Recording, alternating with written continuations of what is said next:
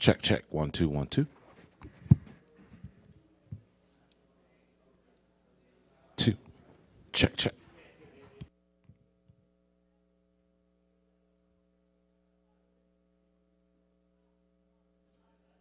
Check, check, check.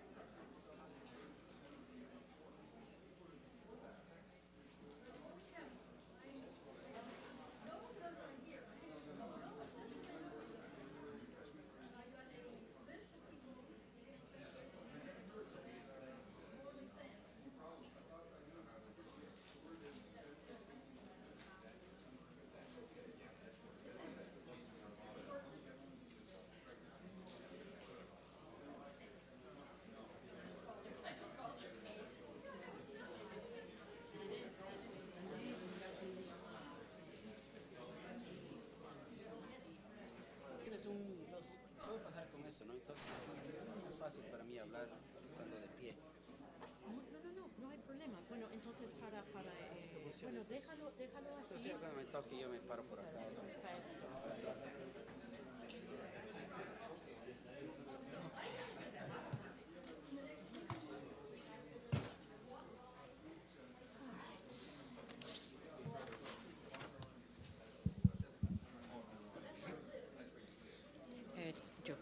algunos están aquí para webcast y los otros no tengo idea. Los micrófonos están vivos ahora. Para que, eh, no, ¿Están funcionando? Hola. Ya sí, están puestos.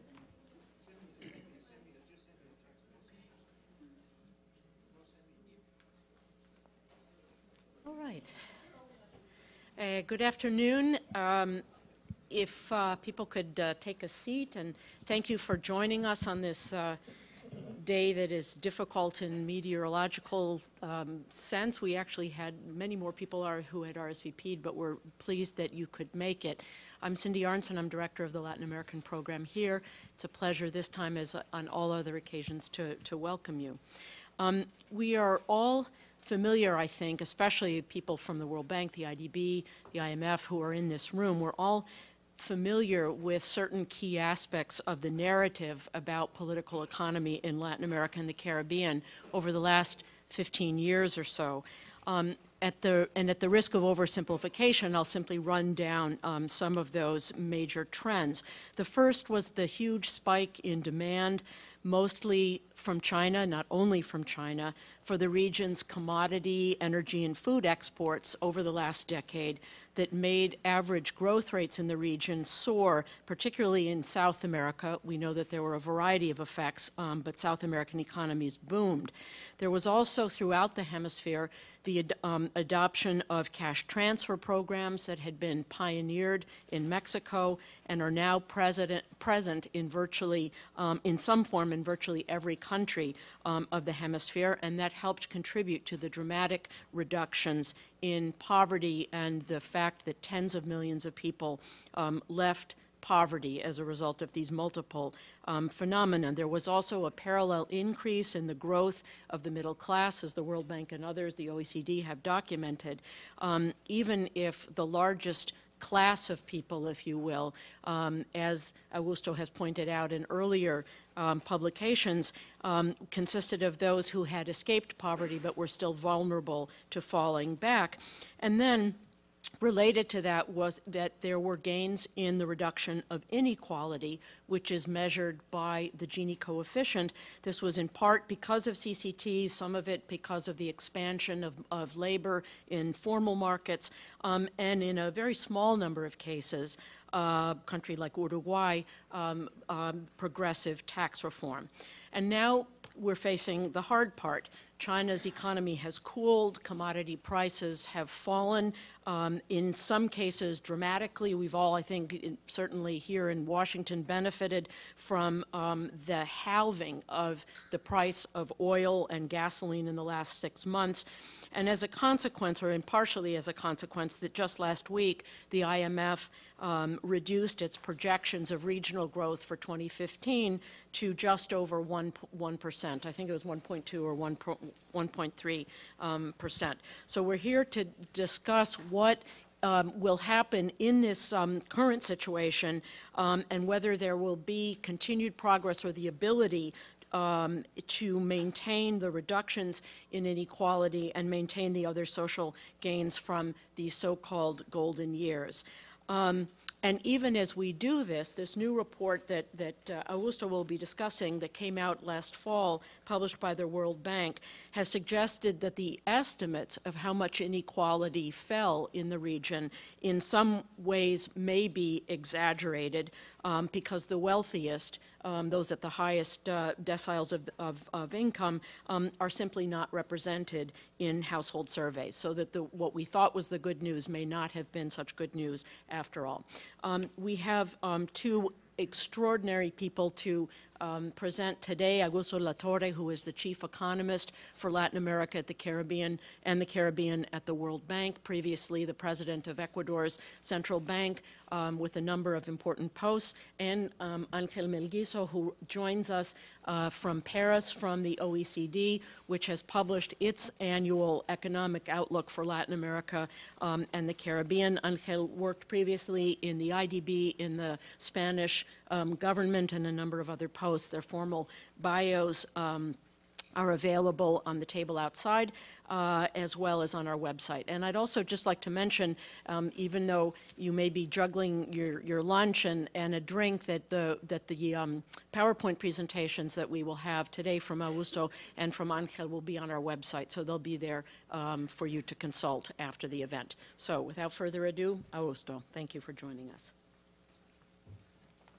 Well, uh, see, is this working? Um, If it's not, use this. Okay. Try this one. Better this one. Thank you very much. Thank you, Cynthia, for uh, the invitation to speak at the Wilson Center and for all of you to brave the weather and be here.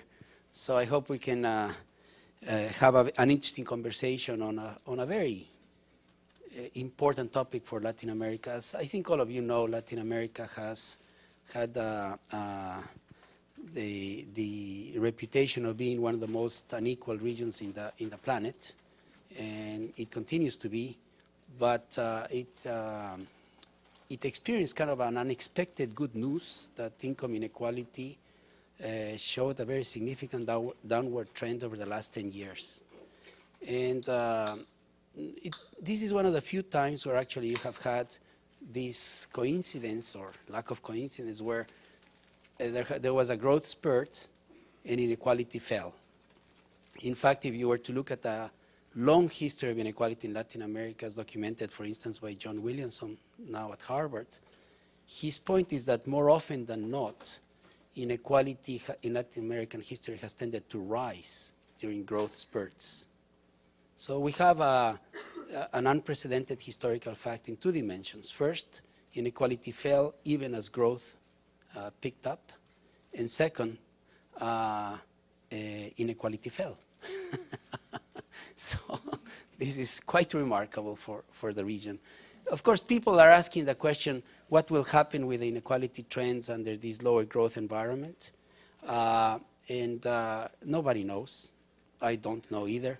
But I think one can begin to speculate as to what may happen if we understand better what did happen. And the point of the matter is that we know what happened, but we do not know why what happened happened. We know that inequality fell. We don't really understand why, what were the dynamics, were those dynamics permanent, are they uh, transitory, are they subject to change under the current environment. So I'm going to focus on, on a little bit on, the, on trying to give you the sense of the puzzles, what we know and what we don't know. And so uh, since I don't have a lot of time, I'm going to jump quickly. Some, uh, this, is, this is the fact, you know, inequality has uh, fell in Latin America, and that's rather unique. Uh, a recent paper by Leo Gasparini comparing uh, emerging markets shows that it actually fell in other emerging economies too. But uh, the intensity of the decline in income inequality was the biggest in Latin America. So the fact still stays that it is a fairly unique issue, uh, a, a fairly unique development. And in contrast with, with much of the world where inequality is actually increasing and the concern about rising inequality is intensifying. So it's rather unique.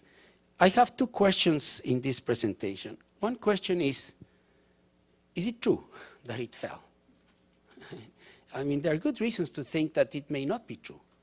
Remem remember that we report inequality based on something called the household income surveys that we use in Latin America. Latin America is really a great place to do work uh, on, on social trends based on household income surveys. One of the great achievements of the region has been that we have put together these household income surveys, and now it's, they're very rich, we have long histories, we can do a lot of work.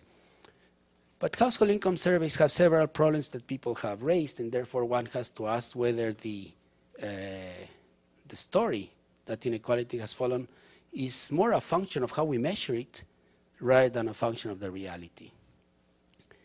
There are four reasons why you may have some doubts about this. One, LAC is unique in using household income surveys to measure inequality trends.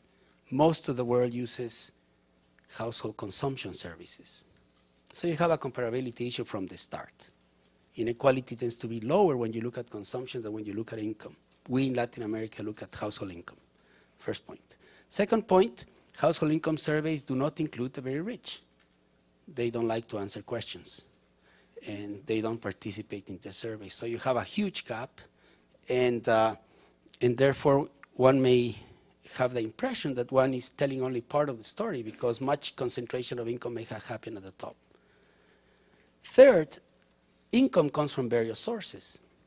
And increasing in a, in a region that's becoming more middle class, more income comes from capital, from investing in the banks, putting your deposits in a bank, or investing in a mutual fund, or saving for retirement, etc. So that income is not reflected in the household income surveys. And since capital income accrues mainly to the rich, one can suspect that maybe we're measuring uh, wrong. And finally, uh, this is a technical point, but there's an important point. When people look at income inequality, they look at nominal income inequality. So the assumption, the underlying assumption is that the income of the poor, the purchasing power of the income of the poor is similar to the purchasing power of the income of the rich, which is the same as saying, as assuming that the consumption basket of the rich is the same as the consumption basket of the poor. So one should ideally want to measure the inequality of purchasing power, not the inequality of nominal incomes. So those are various reasons that people have put forward to question this kind of nice story that inequality fell. So I, am not going to go into the detail on that. I'm just going to tell you that it did fall. that we did stress test the measure by doing several things. This is what we did. First thing we did is we uh, tried to incorporate the income of the rich. You can do that for two or three, perhaps four countries in Latin America, and only partially if you get access to tax data. Now, of course, the rich also evade taxes, so you don't get them well there, but you get better how much. So for a few countries, including Colombia, we were able to get anonymous tax, da tax data, and we merged that data and uh, with, with the data on household income inequality. Try to see what happens when you take into account the income of the top 1%. Another thing we did is that, you know, uh, since the book of Piketty, people have been saying, well, why, why spend so much time looking at household income surveys? Why don't you just look at how much of the pie goes to labor and how much of the pie goes to capital? So look at the national accounts. And if, that, if the, the total national income, a rising proportion is going to capital, uh, and less is going to workers, that's a good enough indication that inequality may be rising. So we, we analyze the consistency or lack of consistency between what happens with the labor share of income in national accounts versus what happens with the distribution of income according to household income surveys. And then we did something that was kind of neat doing it. We, we calculated inequality in purchasing power by taking into account that different income groups face different consumption baskets. So we did all of this to try to feel more comfortable as to whether, whether that, that story we're telling is actually, whether we're fooling ourselves or we're telling the right story. So the bottom line is that indeed inequality fell. Fell with less intensity and, and there are some nuances. First nuance is that if you look at, if you add that the rich, the level of income inequality rises. You see, this is Colombia, and so this is the, the Gini coefficient calculated with the tax uh, information that captures a little bit better the income of the top. And you will see that you have about uh, eight uh, or so, six to eight points of Gini that jumps up. So there's a lot of concentration of income at the top. There's no mystery there. But the trend, how the Gini changes over time, follows very closely to what we're measuring. So the, the story of what happened with inequality over time is hard to dismiss based on incorporation of the richer uh, people. What this is, suggests is that, in fact, although there's a lot of concentration of income at the top, that was not an equalizing in the sense that the income of, the, of, the, of people below the mean uh, rose faster than the income of the very top. Although the rich are very rich and they uh, grab a lot of the pie, they uh, did not spiral away from the rest of the population. The other thing we did is that we checked the consistency with these uh, national income accounts, and the message there is that if you want to look at national income accounts and look at how much of the Uh, share of income goes to labor, in fact, in Latin America, the labor share in income has been falling as has, it has been falling in most of the world. In Latin America, it has fallen less than in other regions. And what you find out is that the labor share in income is a good proxy of what happens at the top. But it's not a good proxy of what happens with the overall distribution of income. So the fact that the labor share of income in the national accounts has been falling means that, of course, capitalists are getting more of the pie, and that suggests that there's some concentration of income at the top, but it tells you nothing about how labor income itself is distributed, is distributed across different workers. And much of what happened in inequality in Latin America happened with labor incomes more than capital income. So it is very difficult to get a full picture of what happens with inequality if you only look at uh, uh, national accounts. It is important to study the distribution of labor income. That's the big message there. And the third one, when you look at uh, purchasing power, you look at the different consumption baskets, clearly, you know, the rich have a very different consumption basket than the poor. The, the, rich travel more, spend more in education, spend more in health, they buy better cars, etc., etc. The poor spend a lot of their money in food, and in, in the last decade, food prices went up more than the average. So that ate a little bit into their welfare. And what you find out is that if you, the inequality reduction is lower if you, if you measure it by purchasing power. You see that in the in the lighter bars. But it's still a considerable drop. So the story doesn't change. Same movie, different action, uh, less intense action. So the bottom line, what I want to say is after, after doing all of this, I feel much more comfortable saying that in fact, over the past decade, inequality of income did decline in Latin America. There are nuances. There's quite a bit of concentration of income at the top. Purchasing power is not well corrected. Labor shares in in GDP have been falling, but overall, it is, seems to be quite correct to say that income inequality uh, in, a, in a break with history came down in Latin America over the past 12 years or so. So the question is why? What drove it? So here you have the candidates of suspects. You know, you say, well, main candidate people like to think is social policy. Social policy must be part of the reason why inequality came down. And this is not a, a silly assumption. In fact, when one, when one runs a cross-country, uh, one, one, one compares cross, across countries the Gini coefficient of income inequality, what you find out is that the differences across countries is largely explained by social policy. Uh, the market income in Europe is almost as unequally distributed in Europe as the market income is distributed in Latin America. What makes the difference between Europe and Latin America on a cross-country level is essentially that in Europe there's much more redistribution policy, a stronger welfare state, and the tax and transfer system through pensions, health, etc., create this redistribution. So on a cross-country basis, the muscle, the fiscal muscle and the redistributed muscle of the state is what make, explains the differences in, in inequality. But when you look at what happens with inequality over time, it's no longer true necessarily that uh, social policy drives what happens with inequality. And this is exactly, so in, in Latin America you have this candidate, people love to see CCT programs, pension coverage increased, et cetera, et cetera. Um, but what's true is that when you look at what happened in Latin America, social policy is an important contributor to re the reduction in poverty, but not necessarily a big contributor to the reduction in inequality. That's a main message. Um, what seems to have been the major driver of changes in inequality in Latin America over the past 12 years or so is what happened in labor markets, not what happened with social policy. Social policy helped, and in some countries it was a very important contributor.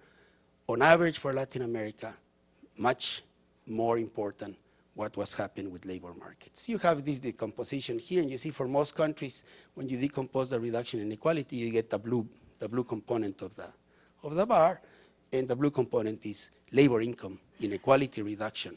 Social policies in gray, and it matters for some countries a lot, but in general, it's not the main driver for the region as a whole.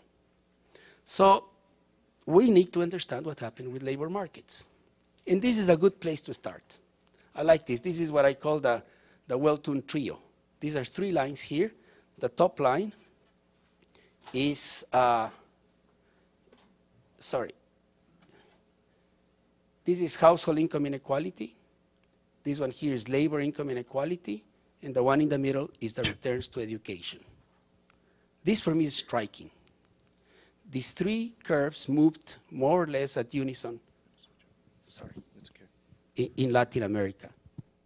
Uh, one way to, to say this is, you know, much of what happened with, lab, with household income inequality can be attributed to what happened with labor income inequality. And what happened with labor income inequality seems to be related to what happened with returns to education. This is the main message of this graph.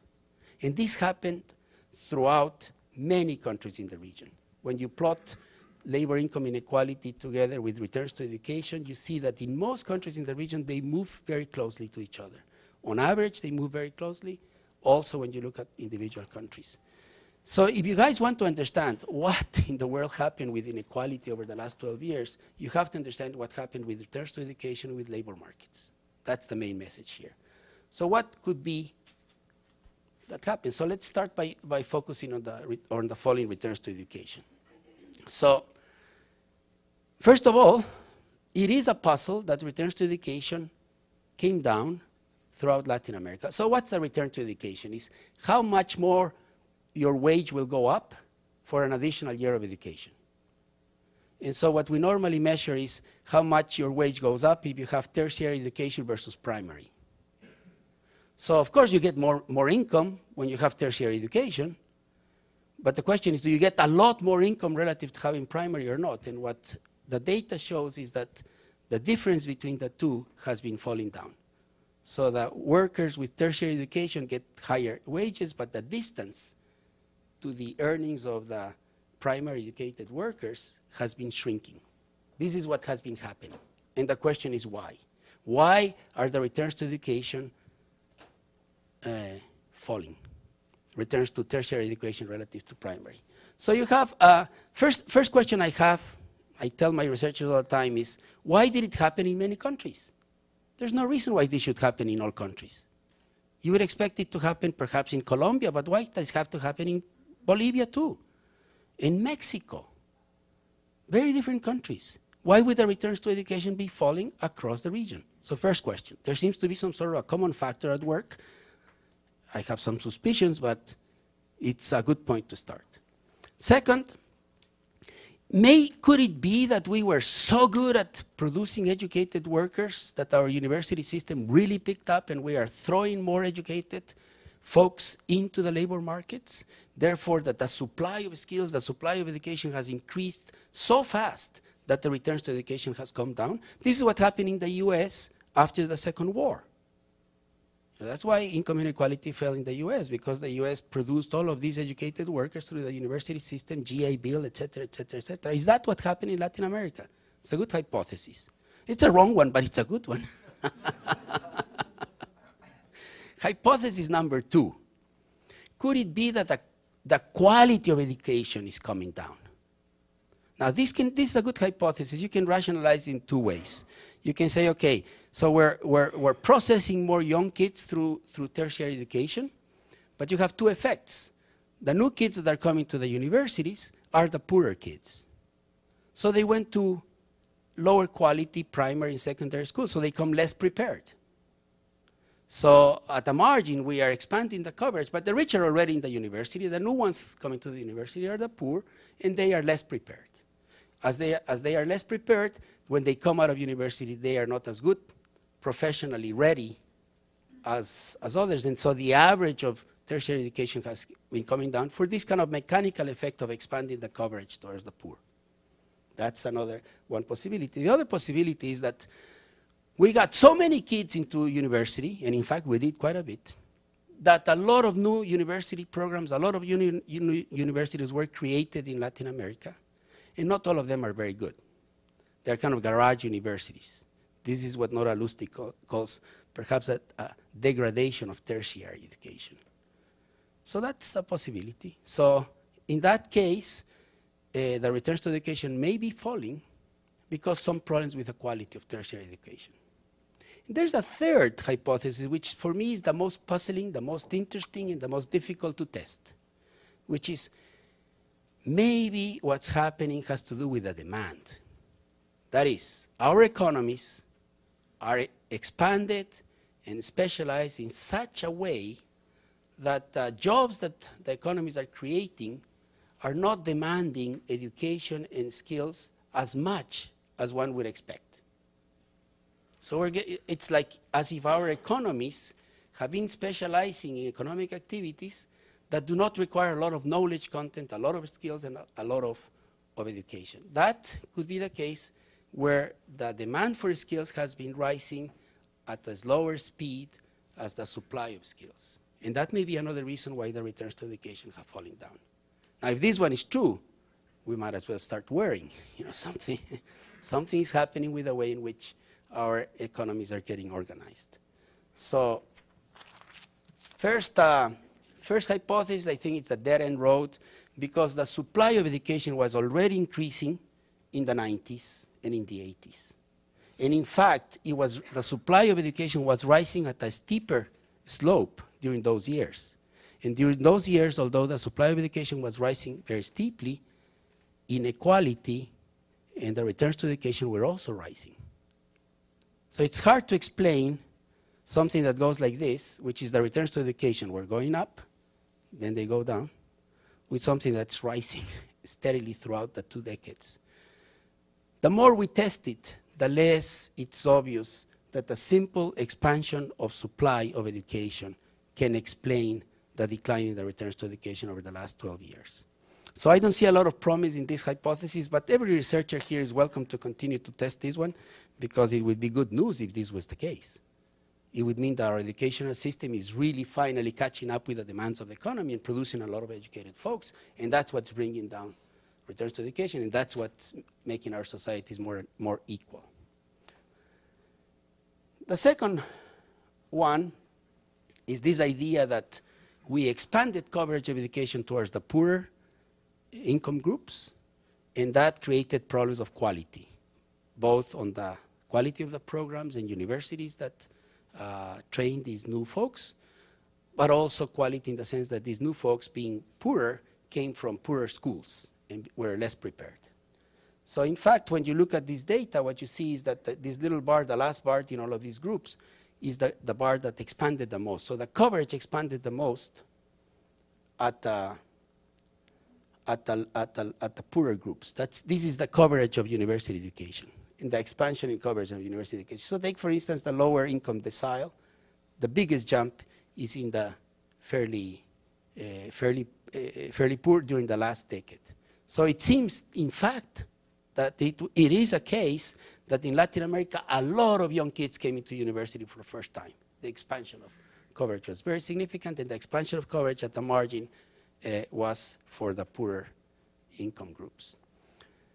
So uh, in, in the research we're doing in my office, this is an interesting paper. This paper tests to see whether there was, a, there was in fact a decline in the quality of tertiary education that may explain this decline in returns to education. And it's trying to isolate. Is it due to the fact that the kids that are entering the university come less prepared because they are poorer and they went to not, not such good uh, uh, primary and high schools? Or is it due that we had a lot of programs, a proliferation of programs that are giving kind of bad degrees? I'm suspicious that the second one applies to many countries, including mine in Ecuador. When you walk through the streets of Ecuador, you see a lot of signs of university this and university that, and master's program this and program that. It's like a huge expansion of programs that are of uh, uh, not clear uh, dudosa reputación, like we would say in, in, in Spanish. So uh, there may be one or the, the two one. So, but this is Colombia. And in Colombia, I am not going to bore you with all of the details. In Colombia, what we find out is that it seems that the biggest effect was the first one, this one. This is the test scores of the new entrants to the university. And what you see is that the test scores have been calling down because new, the new kids that are taking those tests come uh, less prepared than the kids that were taking those tests before, as they come from poorer schools. So this seems to have driven a lot. But you see that in Colombia too, there was a huge expansion in programs and universities catering to these new entrants. And when you run the regressions, what you find out is that controlling for student characteristics and area of studies, I mean, maybe these guys are coming in and studying, I don't know, law instead of science. Eh, So when you control for areas of studies, student characteristics, and the test scores at the beginning, the, the effects of the new programs weaken, which suggests that at least in Colombia, the Colombians have been able to keep a fairly high quality certification process for the uni- new universities and new programs. So the new universities and new programs are probably decent, and therefore, if there's a decline in the quality of the educated student, it's not so much because the programs are not that are not that good, but mainly because the kids are coming less prepared. That's the that's the suggestion that comes from this research. We're doing the same now for Peru and for Brazil to see how much differences happen. And there's a third one, you know, is this, is this a demand factor? Is this that we, be, we, we, we decided to specialize in commodity producing, which employs very few people, and nothing else. And so the, the sectors that are really growing in Latin America are services sectors, construction, commerce, and those are sectors that are not very demanding on engineering skills and things like that. That's the idea. And the evidence so far is quite mixed. If you run a simple scatter like this, what you see is that the skill premium or the returns to education has fallen the most in countries that have been most exposed to terms of trade expansions. Dutch disease type problems where their service sectors has expanded very fast. So maybe those, maybe to the extent that the service sectors are less demanding of skills, maybe that's what's happening. However, the service sector is very heterogeneous. In the service sector, you have the lawyers, you have the architects, you have the financial specialists, you have, and then you have the construction workers. So we need to understand better the insides of the service sector. Are we are really our service sectors has expanded very fast in Latin America. It's the fastest expanding sector. Um, the question is, it is expanding acti- along activities that require a lot of skills and high productivity activities, or is it expanding along activities that require low skills, low productivity activities? That's a question mark. It's not clear. You- When you look at this data, this shows you where are the most educated workers in Latin America, and curiously enough, most of the most educated workers in Latin America are in the service sectors. So it's not very obvious that there may be an issue of demand. So what we're doing is we're starting to look at occupations. This is the, gives you a flavor what we're trying to do by sectors. Uh, six months from now, I'll give you the results on this, but this is what I think promises a lot. Let me explain this graph, and this I will finish. This is occupations by skills. So the lower paid occupations are to the left, the higher paid occupations are to the right, and we are assuming that the lower paid occupations require less skills, the higher paid occupations require more skills. And this graph shows you which occupations expanded and which occupations contracted. Where, where, was, there where was there more job growth and where was there actually job contraction? So let's start with the US. This is the well-known case. Everybody talks about the US. The US has this U shape. So what's happening in the US? The occupations that are expanding are at the extremes. Are the lower skilled occupations and the very high skilled occupations. In other words, which occupations are expanded? The gardeners, the plumbers, the low skilled electricians, the handymen, the handy women. Those are expanding because they are non routine but low skilled occupations that cannot be replaced by computers. Which occupations are contracting? The ones that are in the middle. The bank teller, the draftsman that uh, now can be replaced with a computer, the basic accountant. that can be outsourced. So those occupations are contracting. And which are occup occupations are expanding the most are to the extreme, the very high skill occupation, the ones that uh, Apple and Google need type. So this is the US. And this is the pressure that you feel in the middle that comes from outsourcing and, uh, and, uh, in, the, in the effect of technology change. So this is the US. Now, when you look at Mexico, well, it looks like the US, but with a twist towards the, the lower paid occupations. So in Mexico, the occupations that have been expanding the most are the low skilled occupations to the left. A lot of contraction in the middle, and only at the very top you have an expansion of high skilled occupations. So this is Mexico. Brazil looks like the US on asteroids, right? Because you have a similar pattern. Uh, uh, expansion in the lower end, expansion in the higher end, and rather a lot of contraction in occupations in the middle. Chile is the only country that looks more like a skill bias technical change story. In Chile, most of the occupations to the left are contracting, including the lowest skilled occupations, and the growth is in the high skilled occupations. So Chile gets you, the impression you get from this graph is that Chile's economy is specializing in knowledge or in high skills in a kind of an ambiguous way. It doesn't have this U shape that you see in other. So what would you need to do? You would need to do this by sectors, construction and services, non-tradables, tradables, to see to what extent demand patterns, job creation, the way in which our economies are specializing are part of the story of the inequality reduction. So, uh, to finish, the fall in the skill premium, the fall in returns to education is a key part of the story of why inequality came down in Latin America. We still do not understand exactly why it fell, but we need to understand that. We know that in other parts of the labor market, other gaps were being reduced. You know, Hugo Ñopo is around here and he has documented some of this, that the gaps between the wages of women and men have been coming down, the gaps between rural, urban wages have been coming down. The gap between uh, ethnic groups and the uh, majority of the population, the wage gaps have been falling down. So many more things have been happening in labor markets in addition to the falling returns to, to, to skills. So you have a complex story to, to tell there. For a given skill premium, the changes in the composition of the labor force may have affected income inequality also in many, many ways. The aging of the, of the, of the educated workers, whether there's a marriage penalty for women who have become mothers and also professionals, and et cetera, et cetera. And we still need to understand some institutional changes, such as uh, what happened with minimum wage, which had an important bearing, for instance, in Brazil. My point is that understanding what happened in the labor markets is the key to the secret of understanding what happened with income inequality in Latin America. And uh, research that needs to be done to understand what hap happened in labor markets is gigantic.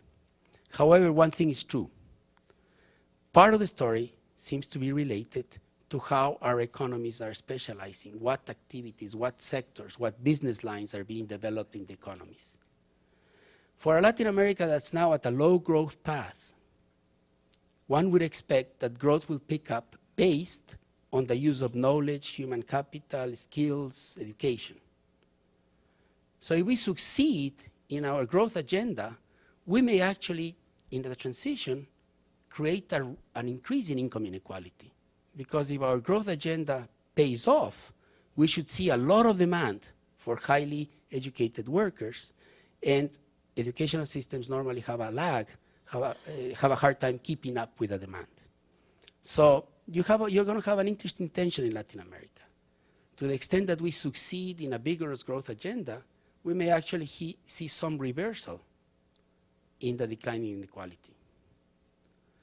So Latin America is going to be torn in trying to put together this growth with equity uh, package.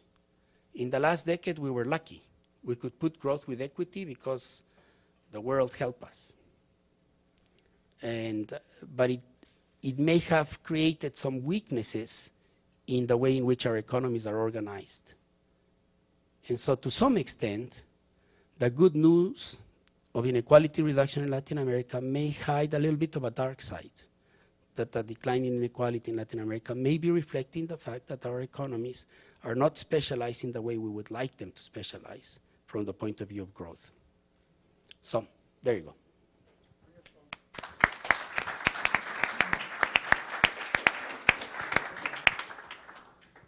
Augusto, thank you very much for that excellent presentation. Um, I'd just like to briefly thank Christine Zaino, who's coming up to the front, as well as Alejandra Argueta there in the back, um, for their uh, really heroic uh, efforts in today put together today's seminar. Um, Veronica Colon, our associate, um, has uh, been away on family medical health emergency leave, um, and so uh, we had a lot, lot of last minute thanks. We also would like to thank our colleagues at the World Bank who assisted with the organization. Um, Anken. Well, first, first of all, um, good morning to everybody, and, and really thank you very much for the for the very kind invitation to, to be here and and catch up with, with so many friends that I see in, in the public, and also a, a privilege to be here with with, with Augusto and, Cynthia talking about, about inequality. What I will do in, in 10, 15 minutes is basically share with you um, some of the analysis that we have done at the OECD Development Center on, on, on inequality, an issue that is more pressing today when we are seeing a region that is slowing down and that to put it just for, as an illustration, in 2014 grew less than the OECD average for the first time in 10 years. So something is happening, and unfortunately, all the figures for 2015 suggest that this is going to happen again. So uh, it's a region which is not converging. It's a region that will have less resources, so uh, addressing inequality will, will require uh, wiser policies because, as, as Augusto, was, Augusto was mentioning, well, less resources will be available to, to counteract all these, all these um, pressures. So I will, I will uh, complement one, um, basically the points of, of, of, the previous presentation by adding, let's say, a static view, but comparing with the OECD average. You have seen all the evolution, the dynamics of inequality in, in, in Latin America, but maybe it's, it's, it's, it's important to, to ask us, why is it so high? I mean, inequality has been decreasing, but from very, very high levels when we compare it with other regions uh, and with developed economies. Why is it? Is it uh, in, in, the DNA of Latin Americans that make the region more unequal, or is it a matter of policies? And that, that's, that's, that's the first, first question I will address. Secondly, uh, since we need wiser policies in this downturn, uh, slowdown environment, we, we have to choose well what to, where to attack. And, and here, based on our recent flag, flagship publication, we will see and we will um, ask us whether education is really working. I mean, is it working to equalize incomes and give opportunities, or actually is reproducing the inequalities we see at the, at the household before going to school? And, and finally, my last point would be on, on the political economy of every, everything of this. I mean, we, if we need uh, solid, bolder policies, we need to, to build support. Can we rely on this emerging middle class? Can we rely on this on this population that, that, that escaped poverty in the last few years to, to support and to finance some of these policies or, or, or not. Basically, these are the, the, the, three factors. So, to begin with, uh, according to our analysis, uh, we very much share uh, that for certain Latin American countries, for instance here Chile and Mexico, what we see is that inequality, income, income inequality has, has been decreasing uh, from, from very high levels. Our, our figures, for instance, uh, suggest that that the ratios of, of income for, for the top 10% versus the bottom 10% also have, have decreased. Uh, but, but what strikes me more from this figure is how high is inequality to begin with when we compare it with, with other economies such as the US or even the OECD average. So why is it so high? Uh, in, in, in Chile or in Mexico, the top 10% earn nearly 10, uh, 30 times what, what the bottom 10% earns. Uh, this, this is compared with 15 times in the US or 10 times in the OECD. So we are talking about a huge uh, inequality. But as, as Augusto mentioned, when we uh, analyze inequality before uh, the families and the, and, and, and the citizens pay taxes, receive cash transfers or receive public services, where basically you, you cannot distinguish where is the OECD and where is Latin America. The OECD is the last point. This is the average. And this is a sample of Latin American countries. So actually, inequality before the action of the state is not different. There's nothing in, in, the, in the DNA I was, I was, as I was provoking a little bit, in Latin America that makes re the region more unequal than, than, than others. It's the action of the state. After we, we pay taxes, this is, this is the inequality we see in most Latin American countries, and this, this is the inequality we see in OECD countries. So basically, inequality is halved after you pay, pay direct taxes, after you get cash transfers, after you get health and services in, in OECD countries. And it happens much more weaker in, in, in, in Latin America. So it's, it's, a matter of policies. An analysis we did uh, for Chile and Mexico some years ago to identify where the difference comes from. Well, I would say first is the difference of monetary transfers. They tend, tend to be less powerful and less progressive in Latin America than at the OECD. And also the direct taxes, which are lower and less progressive again. So actually, it's a matter of policies. Uh, it's, not, it's, not, it's not a course, it's not something that we have to live in. It's just a decision uh, to, to, to, distribute the resources as, as they are. No? Uh, and I would say that for many Latin American countries, it's a matter of the size of the public state. When, when we compare the, the, the size of the government in many Latin American countries and in OECD, where we are comparing 20% of GDP in Latin America, almost 35% in OECD. But for, for, for many others, or for some others uh, in, in the Southern Cone, it's also a matter of allocation. Argentina, Brazil, or Uruguay have uh, public sectors that are comparable to those of the OECD countries, of developed economies, but actually they redistribute much less. So what we are seeing here is, is, is a weaker state, a weaker action of the government to, to equalize um, uh, income and, and, probably wealth. So um, should I have to pick one policy in this uh, slowdown to, to address uh, inequality, I would pick education because it would matter for, for equity, but also for growth. So, uh, but, but it's important to, to ask, ask us ourselves um, if education is actually working uh, as, a, as this social elevator to, to equalize income or, it, or, or, it isn't to, to, to see where we are. And uh, according to our analysis of our last, last flagship publication that we will be presenting in Washington in, in a couple of months' uh, time, what, what we see is the first, on average, the education in Latin America has lower quality than in OECD countries. Uh, on average, in Latin America, students go 11 years to school, more or less. And, and in, uh, in OECD countries, um, it's something like 15, 17, uh, 15, 16 years time. However, when we evaluate the students through PISA, this exam that the OECD has, uh, and we evaluate the, uh, their performance, it's as if the student had gone two years less to school because I mean the, the quality of these, these, these, these schools in, in, in Latin American countries is lower. So first, we have to pick education, but education it has a low quality. So the strength that it has is, is a little bit lower to address uh, the, the growth and, and the equity I was mentioning. And the second factor, the second challenging factor we see in education is how unequal it is. Uh, more, more than one third of the results of the students are explained by their household. Where do they come from? If you're a rich student, 30% of your, of, of your result is going to be good because you have books and good condition at home. If you are poor, one third of it is, is already there. So it's something happening there that is, explains a lot of the, of the performance of, of the students. So what we did in the flagship, and and our, our, media colleagues at the OECD always tell me not to put any, any, any, any regression. I mean, Augusto did it, so if Augusto can do it, I will, I will tell them to do it the next time, because they convinced me to do infographics. So I'm not into this, but I will use them because I mean, we, we devote a lot of time. So based on infographics, our analysis, which is based on some working papers I can, I can share, First, inequality to access of access to secondary education is still very high.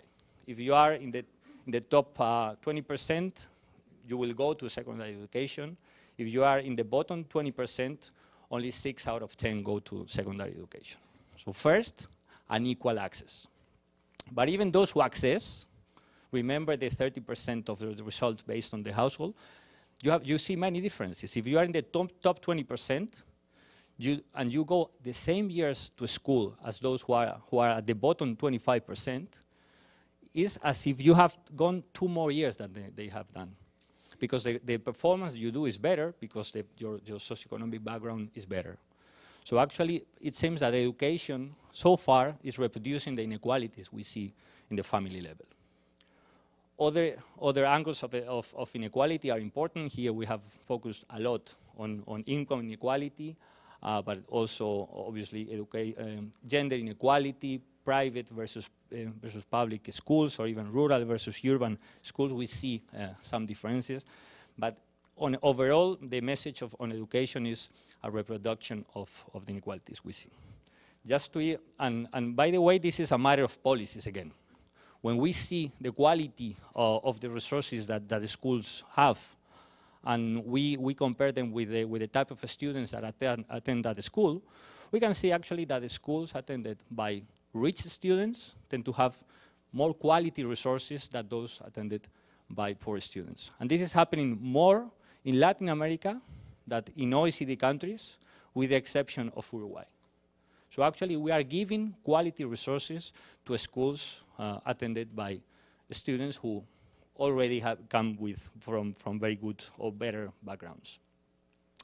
And the last part of on, on this education part, it's, it's, um, it's basically to, to, to illustrate how unequal and how, how inequality is reproduced. Here is the per capita income of different neighbors in, in Santiago, uh, Santiago de Chile, if you go um, from west to, to east. Basically, if you go from west to east, in the, in the line one of the metro, your, your per capita income can be multiplied by five.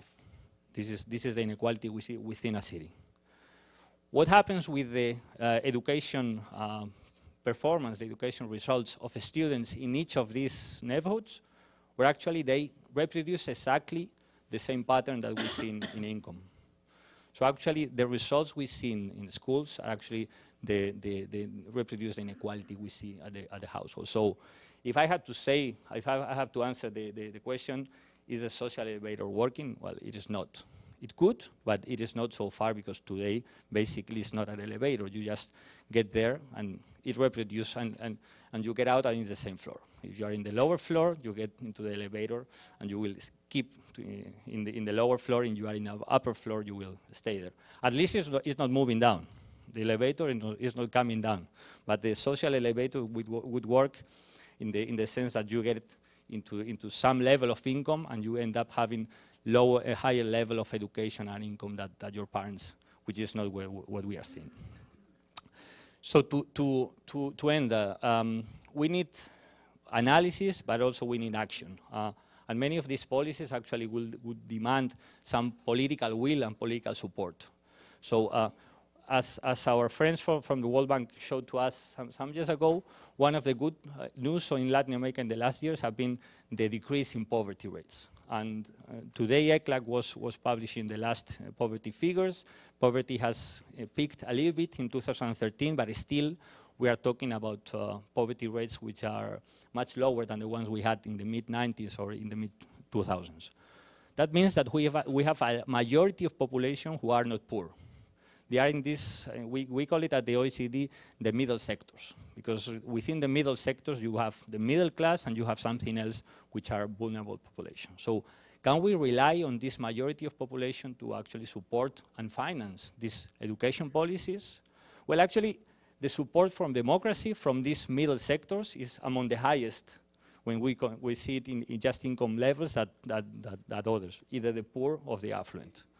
And in terms of ideology, these middle sectors tend to be moderate. So actually, if we are thinking about state policies to, to foster education for all and to, and to uh, assure the, the, quali the quality of opportunities, these are good news.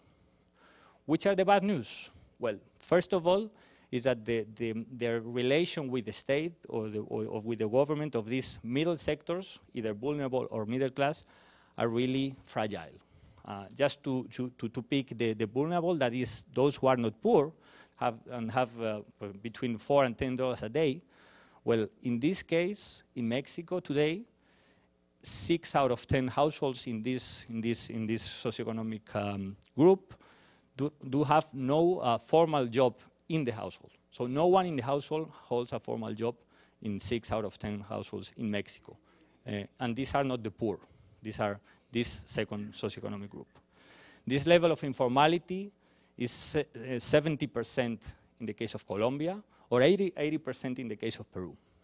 So if we want to base some policy action in this socioeconomic group, well, the challenge is that the relation with the state is really fragile. Actually, they, they, they try not to pay taxes or not contribute to any social insurance, social protection scheme. And also, uh, they are un as unsatisfied with the public services as the poor.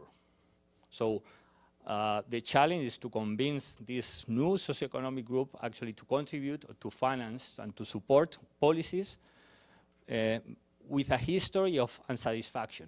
Because when we asked, when people asked whether they are satisfied with, with healthcare, with education, or even with labor, labor policies, well, these groups tend to not be satisfied at all. So why to pay for something that, that you don't value uh, at all? So let me conclude. I, I tend to be optimistic, uh, and I, I, I, always look at the bright side of, of, of the things. Uh, and in this gray uh, Washington that is very gray, it's as gray as Paris, I, will try to, to be a little bit uh, cheerful and, and to, to say that first, things can change. I mean, policies can be fixed. As you have seen, uh, the high levels of inequality of Latin America versus the OECD are a matter of policies before the action of the state, inequality is comparable among the two, the two regions. Uh, education seems to be one of the wiser policies to invest in. And in this case, I would say education, primary, secondary education, but also education for work, because the systems uh, to, to address, I mean, the, the skills that our workers have in the region today are not, are not working.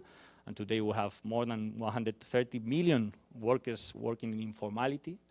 So education, broadly uh, understood, is one of the, of the key issues because it could address both equity and growth in, a, in, a, in an environment of, of slowdown.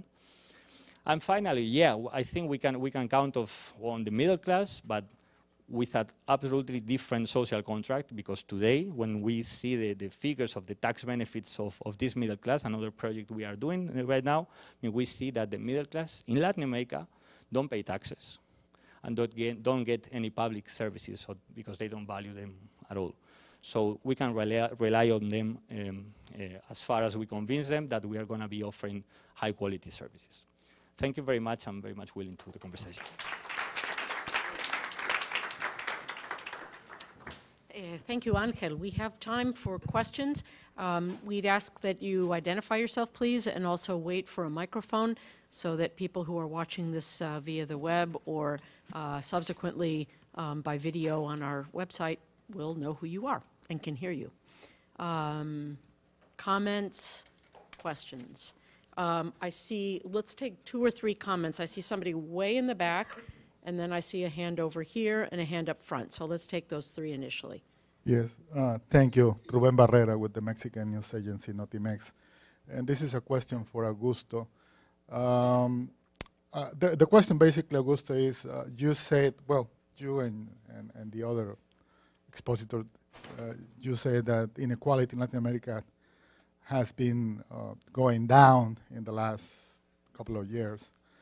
But I think that I, I didn't find the next part of that phrase uh, because in some way you uh, left the sensation that inequality has been down, but, so I don't know if there is that but, and you can explain to, just to complement the idea. I mean, uh, uh, what part is, is missing? I mean, if the equality is reducing, what is the other factor that keep you guys looking at this, at this phenomenon? Okay, and there was someone over here on the side. Um, maybe? Yeah. Hi, Carlos Santiso from the IDB. One question for, for Augusto. Um, I mean, inequality, yes, is, is, is decreasing, but from high levels. Predicting the future, is inequality going to increase in a lower growth environment? I mean, is there like a steady state of inequality in Latin America at the end of the day if you look into a long-term perspective that may might make us a little bit uh, pessimistic, I'm afraid. and the, the second question was for Angel. Is, is really this, there's a whole debate about lack of social mobility in Latin America. That you know, it's the movement across um, uh, across uh, classes. How dynamic is Latin America of you know of that the, it's not like the poor, uh, the poor people all moving up into the middle income, but across sectors. I mean, across classes. How dynamic is Latin America compared to other regions, maybe middle income regions? Okay, and then we'll take one more from up here. Alejandra? em, por acá. Hi, my question is for uh, Mr. Melguizo. Um, I'm wondering, is it possible that it is, the problem is not inequality of education, but rather on the access to high-quality jobs? Okay, can you identify yourself? I'm sorry. Uh, my name is Mary. I'm from the Canadian Embassy. Thank you. Okay, uh, who wants to start? Augusto?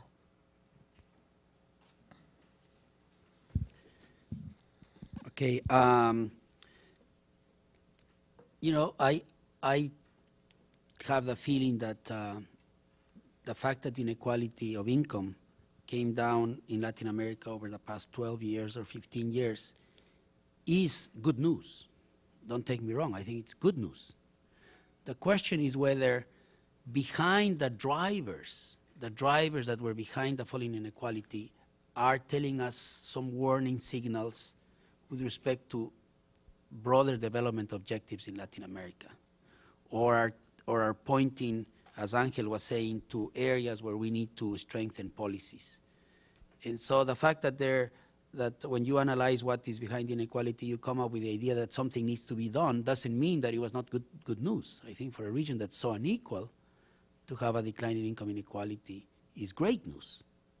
We do not know whether wealth inequality fell as much as income inequality. That's a different issue. We don't have data to, to say anything about that. But so my sense is that it's good news overall, but we need to understand why it came down so that we have a sensible discussion as to what we need to do in the future to continue to strive and try to achieve this magical combination of growth with equity.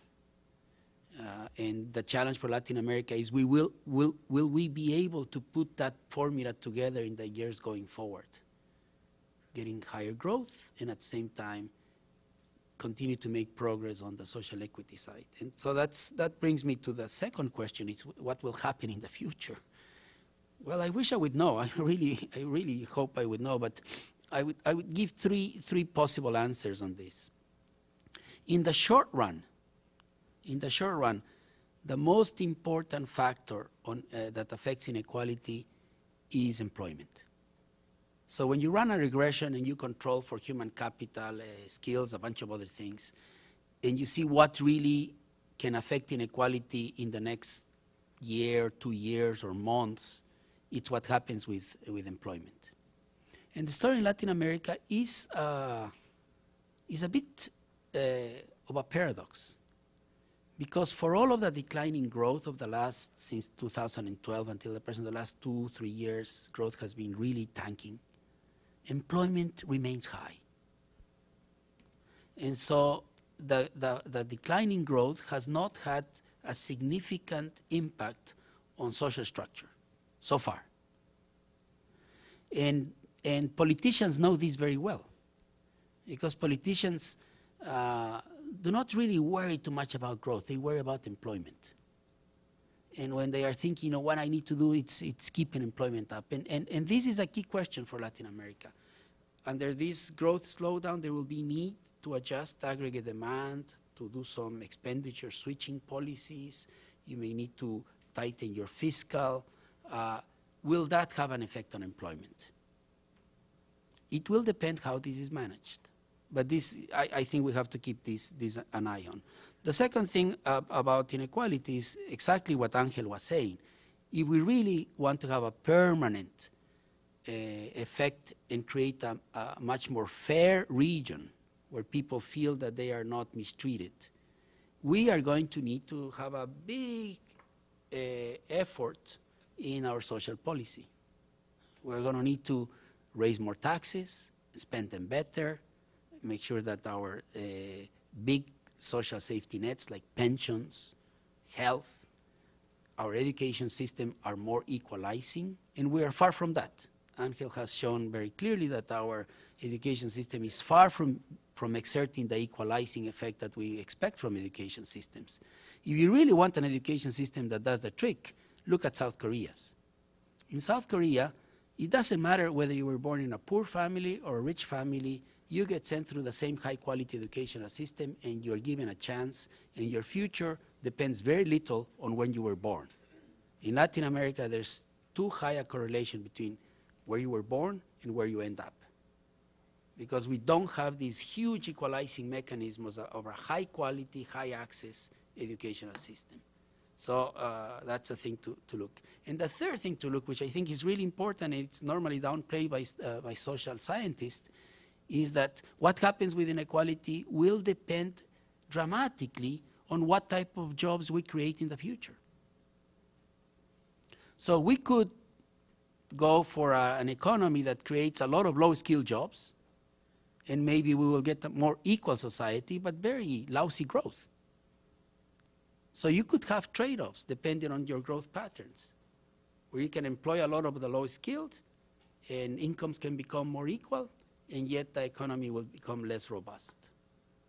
And then on the other hand, you can have a, a significant uh, modernization of the economy, you work on infrastructure, you work on education, you work on the universities, you work on your trade, and all of a sudden you have economies that are picking up technological change and they demand high-skilled workers. It may be that for a while we get a higher inequality in the transition until we can catch up with our systems to produce skills. So nothing is simple. and what will happen in the future will depend on the short-term uh, dynamics with employment, on what happens with social policy and how effective it is, which depends on how much taxes we can raise and how well we can spend them, and it will depend, crucially, on what happens with our growth agenda. Okay. Yeah, no, um, very much in line my, my, my comments on, on social mobility. Um, well, actually, the, the data would, would show, at least in the last decade, is a, is a big social mobility. I mean, the movement, our, our, uh, the, the, the flagship that our colleagues at the World Bank did on, on middle classes show a, a, big mobility from the poor to the vulnerable, but also from the vulnerable to the middle class. So the data is there, and clearly uh, the, the mobility has been high. But probably the but that the, our Mexican friend was, was asking is how sustainable was that? Uh, and here, I, I think we, we agree that the sustainability is the key is the key doubt we have, because in terms of education, this this mobility is not in the figures. Uh, when we when we did some analysis on middle classes some years ago, we saw that in Latin America you basically have uh, the, the education of your parents. That's all you reproduce the education of your parents while in the in the rest of the world what you see is basically you you surpass them a little bit. Uh, if they are secondary, you are tertiary. If they are tertiary, you are a little bit more. So, in terms of sustainability, this this this uh, this uh, this education doesn't point to to to very very good results, and neither in terms of jobs. So, I I, I very much support the the focus of of Augusto, education and jobs. When we see informality, we don't see a movement from formality to informality of those of those groups on a stable way. On the, on the contrary, we, we see movement every year from formality to informality, from activity to self-employment. So uh, overall, I would say that social mobility is, is, is not sustainable, I mean, not sustainably high. It has been high, but, but the foundations need to be rebuilt. And on, on, on jobs, probably, uh, if I understood correctly, your question is, matter if, if there is a demand for, for, for jobs. So, so we, we, we, we help people to get educated, but maybe the jobs are not there. So uh, why, why, why is it this case? Well, actually, we try to test the, the, this hypothesis of a region specializing in commodities and say like, and maybe if in a region that just exports commodities, well, you don't need skills anymore because actually to export them, you need basic skills. Well, uh, the World Bank has an, an, enterprise survey, and we did uh, research uh, by sectors. Where are the, the biggest skill gaps?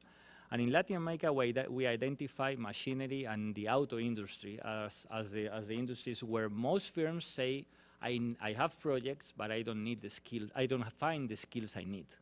So probably the demand is there, but the, the supply of skills probably is not the supply of secondary education, but the supply of, of technical skills is what is lacking. So, so I wouldn't put too much, uh, too much, pre, um, too much weight on the, on the demand hypothesis and more on the, on the supply side. But, but this is a, cu- a key question who, who takes us directly again to education and jobs.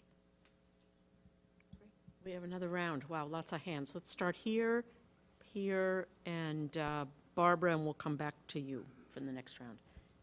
Well, thank you. My name is Jose Carrera from CAF, Development of Latin America. Well, first of all, congratulations to Augusto and Angel for their presentations. I have some reflections to contribute. One is that uh, even though inequality is very important, I think that we should take into account that in terms of policy formulation, social inclusion is, uh, I think, uh, very, very important to take into account because let me show you with one example what we have found. We have done a, a study for 280 cities in Latin America. Uh, what was what has been the the trend in inequality, income inequality, and we have found perhaps in all Latin America from 1990 to 2002 the inequality in, in, in all Latin America increases, and from 2002 to 2010, it, it decreases the inequality. When you analyze in terms of countries, you do Colombia, and the pattern is quite the same.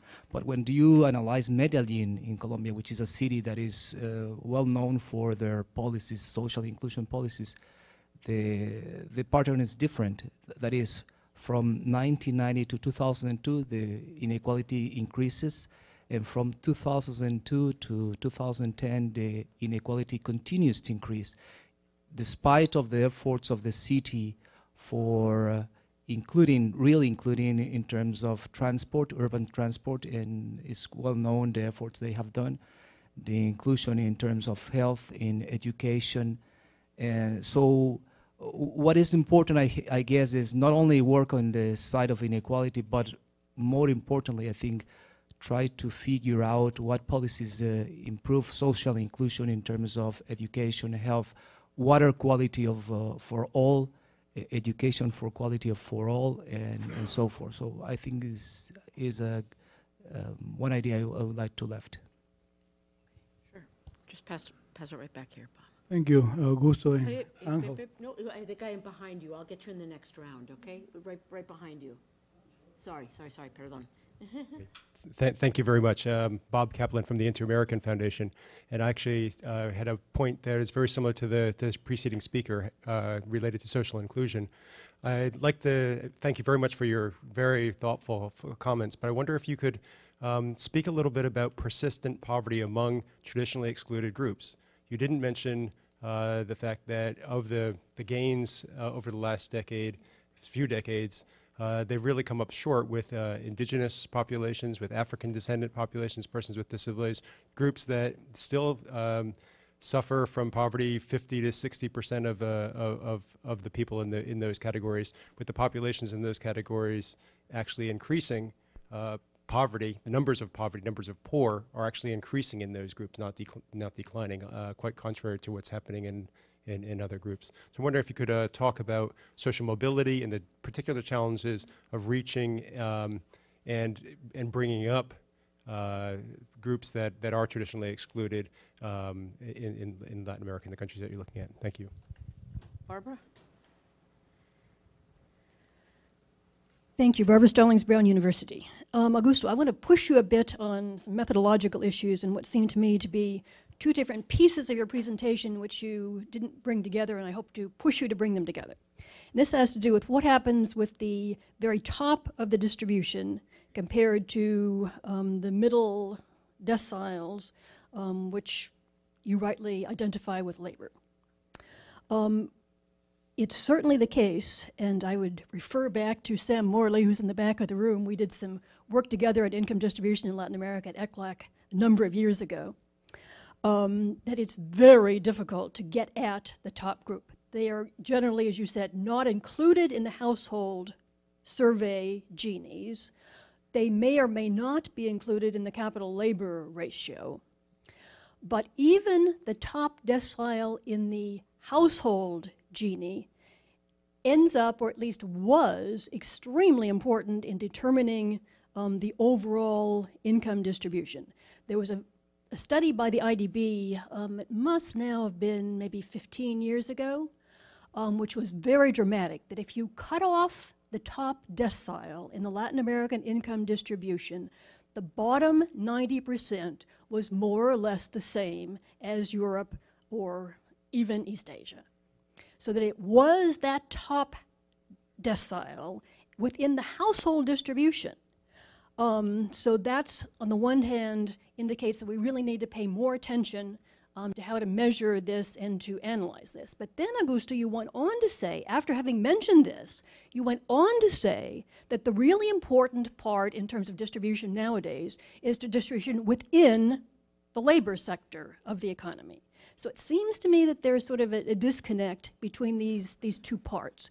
And I hope that you can say a bit more about um, why you then left the, the richest part and went down to what's going on within labor.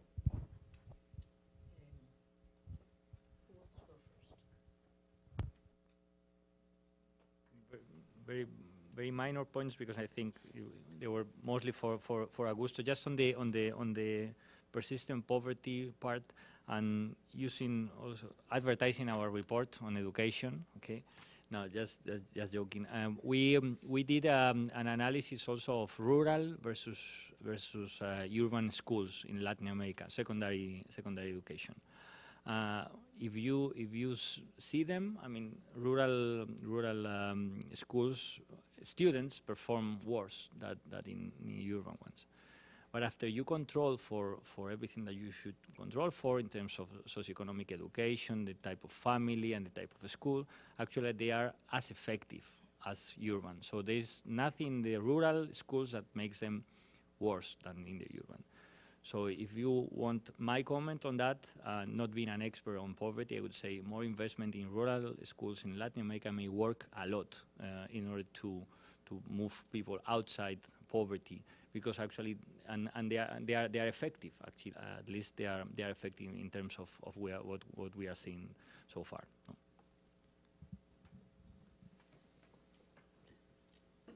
So on the, on the question of persistency of poverty pockets, no, that's a hugely important uh, theme um, because persistence is very difficult to study it's very important and yet very difficult to study because to study persistence you need to have you need to track the same people over time.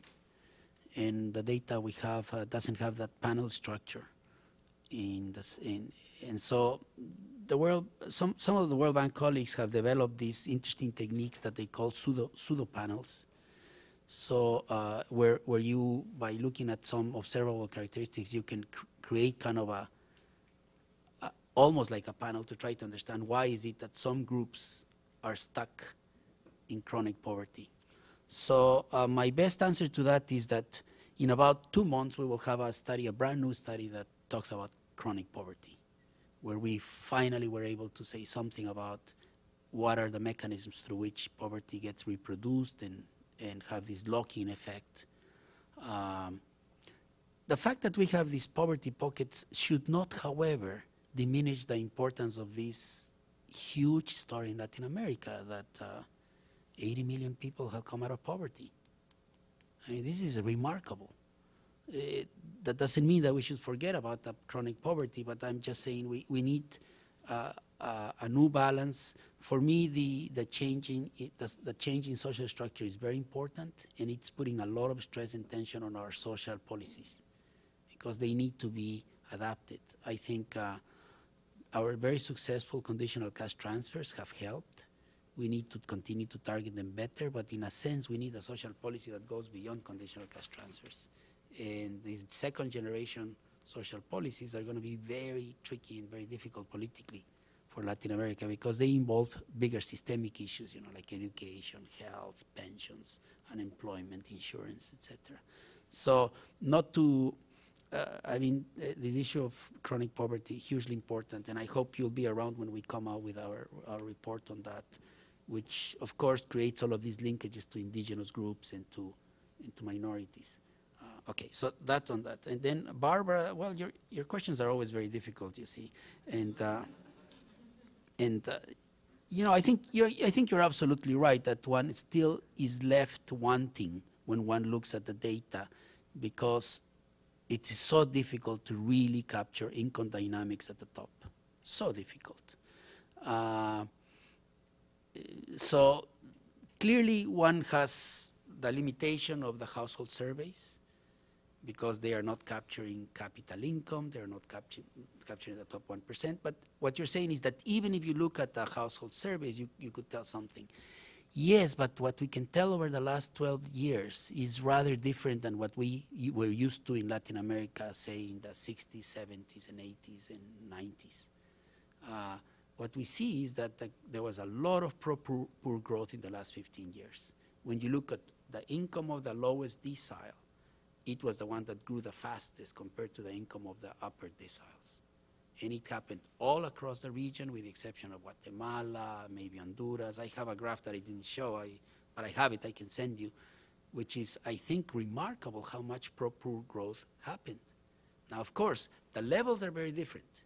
Those that are at the top decile get a lot of the, a lot of the pie, but when you look at the rates of change of the incomes of the people at the top and the incomes of the people at the bottom, last 15 years were remarkable in terms of pro-poor growth.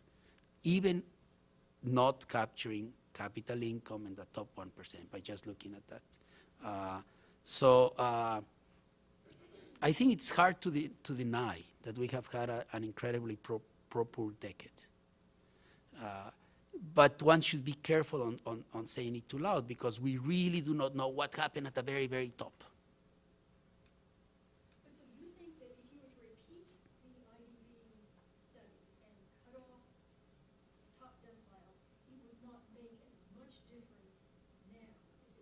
Yes, I, I, I think that's, that's precisely the conclusion. I don't know the actual size of these differences, but that differences should be identifiable for the from the simple analysis of income dynamics at, at different deciles.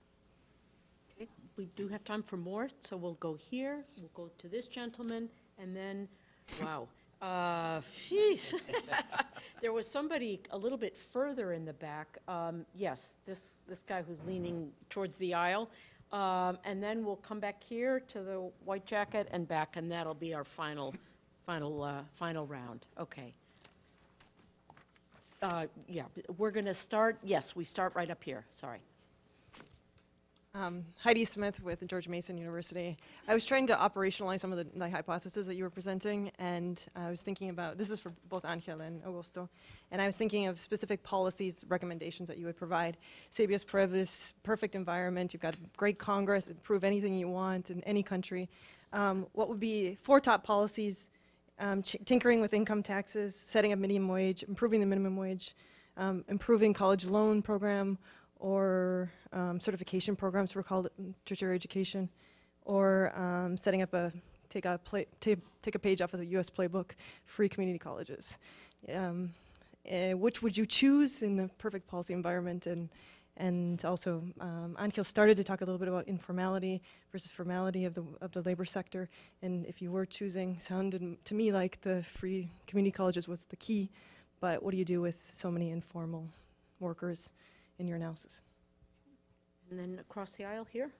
Yes. Thank you, Augusto and, and Angel, for the great, uh, illuminating presentation. Uh, Abel Mejia from CAF, Latin American Development Bank. Uh, uh as we, you were talking, it's, uh, I remember the State of the Union of last week. It's uh, where it was centered on inequality, and they made a, a very key policy proposals. One was on preschooling, and the other one was on community college. My, my, question to you is if there is any evidence, analytical evidence, that shows the return to the investment in access to preschooling. Huh? I have to confess that I'm extremely impressed by my grandchildren when they come out of the, the you know, the, the, the, preschooling, you know, it's, uh, they, they go the, the, the, quality of the argues, the argumentation, the, the use of the language, the socialization, the, the preparedness to go into primary school. Is, is any evidence that shows that? And the second is on the tertiary education is insisting on on the community college, which is uh, the employability of the people coming out of the community college, more flexible, is uh, less cost, but uh, and how that compares to college education, to masters and PhD, is any segmentation there that shows the returns to investment in each one of these segments, which at the end of the day, uh, the market, as you said, in Latin America, is, is responding to that with all of these academies, piratas in, in, in every street. You know, it's, it's responding to the demand that the market is presenting to them. Thank you. Uh, There was, yes, this gentleman all the way in the back. Yeah. Uh, Sam Morley from IFPRI. Um, uh, Thank you, Barbara, for the, the advertisement. Uh, But I wanted to push Augusto just a, a little bit. I think your, your, your presentation is tremendously uh, interesting and informative.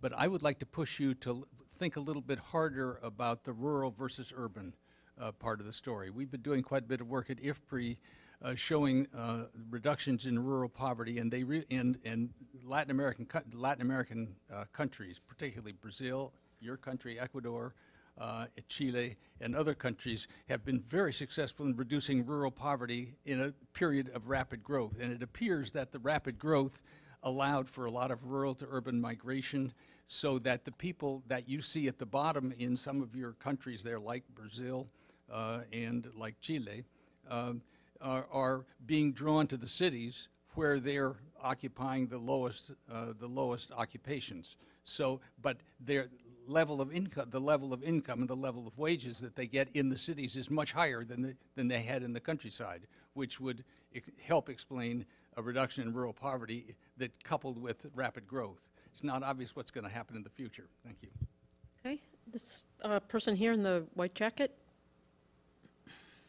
My name is Claire from Devex. We spoke last week, but thank you. Um, my question is because Devex is an audience mainly for implementers in the development field. I'm coming from um, more of a development aspect. Wondering practically um, any new places of increased focus where implementers can step in, um, any moves that are actually being done at places like the IDB, World Bank, um, to make changes in these areas for more social equity. Um, Augusto, you said taxes are forthcoming. I don't know what those are being put to um, specifically, but just any new places where implementers can be watching out for. A slightly different way, I think, of phrasing that question is, are there any um, concrete examples of improvement in educational quality, for example? Um, You pointed out, and the OECD has repoint- pointed out um, a lot about the, the way inequality falls as after, after taxes and transfers um, in Latin America versus OECD countries. But a key part of tax reform is improving the quality of spending. So I guess that's a, another way of phrasing your question. And we had, I think, one other person on this side, but if not, we'll, uh, uh, sure, right here, and then we'll close it. Hi, Juan Misle, Latin American Working Group. This is a pretty broad question for both of you. So, what will be the long-term effect on income inequality for countries that overly relied on high commodity prices and, you know, countries that did not diversify their economies? And speaking specifically here about Argentina and Venezuela, now that they're forced um, to honor their debt payments to their financial lenders. So, what would be the um, overall impact of that on income inequality? Thank you. Great. Um, Angel, do you want to go first?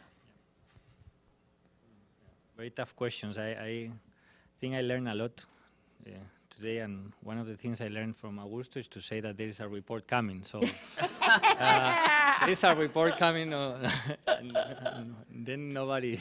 and no, uh, very no, seriously, very very good questions, and I will try to answer a little bit of them. Um, first, on the having a good Congress means that we can raise taxes or not can we have more money to, to do the, the policies or? Oh, well, I mean, that, that, that is things. Yeah, no, but um, I mean, this is, I mean, well, my question is, this is one key issue. I mean, can most of, of Latin American countries actually raise a little bit of their taxes or not to finance most of their policies? That's one of the key constraints I would, I would say that we need to, to address uh, those, those, those issues. Taxes, probably, I mean, a more progressive direct taxation, I think, is, is needed to, to capture probably not just this uh, top 10%, but also a little bit more, because when, when we have this personal income tax here in, in Latin America versus uh, OECD countries, we are talking about the 10 to the 20 top percent of the population paying that tax. If you move to Europe, it's the 80% of the population contributing on a progressive way. So given that we have resources, uh, I will invest more, more in pre-primary education, and that's related to one of the results. When what we when we see uh, from results of PISA, students who, who who attended pre-primary education do better than those who didn't. Uh, equally controlling for everything else. So, so actually, we, we see a, a better performance uh, in the in the secondary education having attended this this pre-primary one. So, uh, and in pre-primary education, expenditure is low in Latin America versus the other. I mean, overall, uh, Latin America spends nearly five percent of GDP in education. OECD countries 5.5. So, we are close, but we are younger. So in per capita income, students, uh, student terms is, is lower, and in pre-primary is, is lower. And uh, a second policy is the quality of teachers. Uh, again, based on PISA, we see no effect of having a certified, officially certified teacher that mm, a teacher without any certification in Latin America. It doesn't matter for the student performance, and it does in OECD countries. So clearly the certification we have in the region so sh shows something else, but not really the impact in, in performance. So investing in this certification would be another practical issue. And thirdly, uh, I've, I've, mentioned it, education for work. I mean, we cannot wait uh, 15 years to, to see the results of these education policies. We have now, right now, 130 million informal workers, and there is demand, at least in certain in certain uh, occupations. So, so I think involving probably the private sector, both designing and doing the training more that, that we are that they are doing right now, would be the policy that will do from over the self.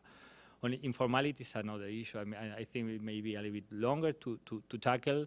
Um, I would advise the the IDB's work, uh, uh, better pensions, better jobs uh, disclaimer, I'm one, one of the co-authors. But, uh, but there we, we, we analyze why we see inequality so high and how to, to address it through monetary incentives, but also through channels, because today uh, fulfilling the, the obligations of, of labor and also pensions are, are, are, are, not really adequate to the type of labor force that we have. We are not German continental industrial workers, uh, but we are people who move from one jobs to the others, but we imported the, the pension and social insurance schemes from continental Europe. That makes uh, uh, no sense. And the last uh, port on commodity, well, that's, that, that, that's really the report coming.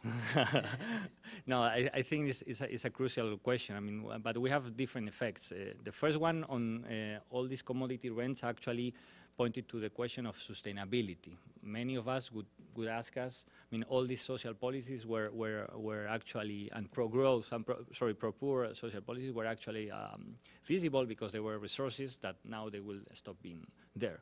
But on the other hand, uh, there is a lot of rents uh, which are not distributed really evenly uh, of these commodity booms. We have the regalia system and we have some efforts to redistribute things. So maybe there are less rents and so the inequality could be lower because the rents were concentrated.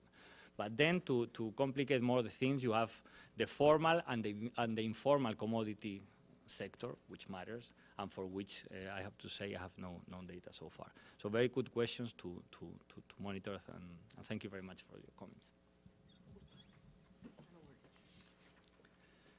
Okay, wow, this is uh, hard going with all of these difficult questions.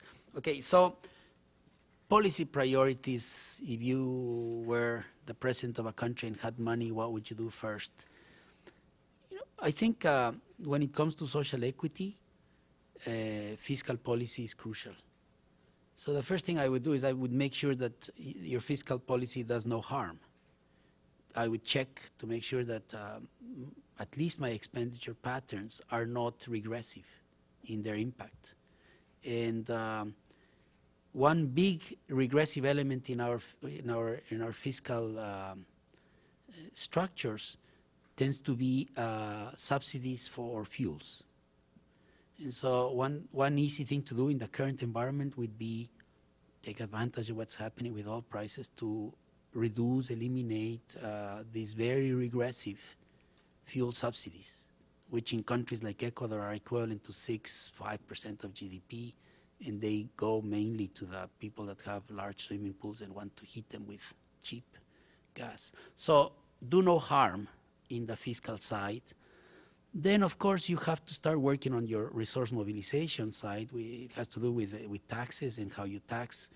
And um, in Latin America, with the exception of Argentina and Brazil, has very low taxation, uh, very low, low uh, a fairly uh, low resource mobilization. So you, we have a challenge there where we have to convince people put, to pay more taxes. Nobody wants to pay more taxes any place in the planet. So how you convince them to be part of a citizenship process where you pay taxes and in exchange you can demand higher quality public services. But a lot of the inequality agenda is going to be based on the ability to raise the quality of basic public services, education, security in the streets, pensions, health. That costs money. And so you need people to enter into this virtuous circle of pain and demanding improvements, which I don't know if anybody knows. I mean, I keep on asking politicians, how do you do that? And I haven't gotten a, a good answer so far yet because it's the toughest thing in public policy uh, to, to get people to pay, to pay so that you have a, so that the benefits are not necessarily to the person that pays individually, but for, for society as a whole. Then I really think that uh, education is a huge agenda in Latin America. Finally, the education agenda in Latin America is not about quantities, but about quality. And, and, uh, and my, I always say this, but you know, the fact that Latin America is no longer as worried as it used to be in the past about the next financial crisis and whether you, the, the macroeconomy will implode, is allowing people to think about good stuff. So I think Latins are creative, and over the next 10 years, I think we will learn a lot about how to improve the quality of education, how to do better on the productivity side, what to do with infrastructure, because we're not so worried about the next financial crisis. We finally are talking about growth and human capital and so forth. And if you look at, for instance, our most recent publication on the quality of teachers, I was amazed and encouraged to see that we are learning a lot how to improve the quality of teachers over periods relatively short three, five years. I always thought that, you know, to improve the quality of teachers, you had to wait until the next generation because to get good teachers, you, get, you need good teachers today, but you don't have good teachers today, so how are you going to get good teachers in the future? It seems like a 25-year thing.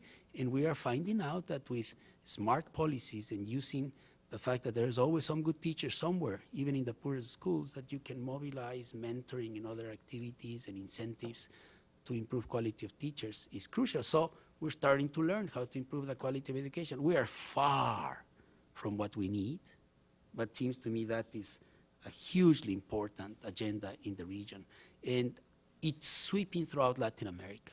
Education reforms are taking place in Mexico, they're taking place in Peru, they're taking place in Colombia, Chile, and, and the community of practitioners and reformers in the education equality is expanding, and all of us are doing more research on that one, with, one important research we're studying is on the quality of tertiary education, which involves all of these complicated issues as to community college, trade schools, uh, high-class universities, integration to the centers of excellence in the U.S., which are very important issues. So we have, we have big agendas there. There's the issue of formality, where, where we have come with a complementary view to that of the IDB and Santiago Levy. You know, traditionally, the issue of formality has been seen from the point of view of the De Soto approach, know, there's a lot of informal people because they have not very well established property rights. We need to give them title to the land, and we need to create all sorts of programs to support the small so that they can become bigger and become formal. We have come up with a view that's complementary but different because the evidence is so striking that informality gets reduced big time when larger firms grow and generate jobs. So the idea that you can reduce informality by helping the small becoming formal normally leaves you, gives you little bang from the back compared to finding what is blocking your larger enterprises from generating employment. It is the growth in the formal sector, the larger enterprises, the job generation there that brings people from the informal sector into formality. That seems to be the biggest effect. So for me, the informality agenda is really a growth agenda unlike many people uh, thing. So that's, that's an informality. On Sam's question, I think you're absolutely right that there's this incredible reduction in the urban to rural wage gaps. It's throughout all of Latin America. A paper that Chico Ferreira is now completing shows the remarkable reductions in the wage gaps between urban and rural that has happened in Brazil. But it's happening all over the place. There are papers on Peru that show that even in the rural areas, people that have not migrated to the urban areas, the rural areas are making more money and better wages. There's some sort of ongoing commercial integration and production integration in some of these rural areas. So that, I think, is a fascinating area of study because we were not used to seeing this. And, uh, and, and in, uh, in, in societies that are already highly urbanized, that this thing is happening is, I think, I think remarkable. Uh, the final point I want to make about uh, e- education quality progress, I think we have to take very seriously what has happened in Chile and Brazil. People have gone to the streets, and they have gone to the streets not to protest about the last fiscal adjustment, which was the tradition. We used to go to the streets to, to get angry for the government for raising gasoline prices and things like that. People are going to the street demanding better transport systems and better education systems and so forth and so on. Those are demands from a new social structure in Latin America, which I think is the best news I have seen for many years, that the type, the, the content of what we're protest, protesting about has changed. And uh, so I think, uh, uh, you know, I was recently in, in Uruguay and I was fascinated to see, talking to labor union leaders and Congress people and politicians, how there has, this huge consensus has formed that the biggest agenda for Uruguay going forward is going to be raising the quality of education for all. Uh, and that's not easy. Think what's happening in Chile. The biggest debate in Chile is that in this big effort to expand education at all levels to everybody, Chile seems to be risking a big decline in quality. To getting this right is very difficult. To get coverage expansion together with quality is, is, is a big thing, and both things are needed in, in Latin America. Great. Um, Thanks to you both. I'll follow your example and announce a forthcoming report on uh, the politics of progressive taxation in Latin America with five case studies and some lessons for reformers that should be out in a matter of weeks. We're correcting the page proof, so uh, we look forward to sharing that. Thank you for joining us. Please join me in thanking our excellent panelists. Terrific, terrific, terrific. Muy bien. Muchísimas gracias.